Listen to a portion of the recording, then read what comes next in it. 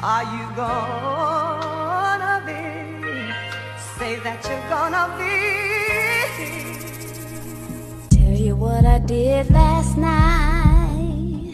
I came home, say, around a quarter to three. Still so high, hypnotized in a trance.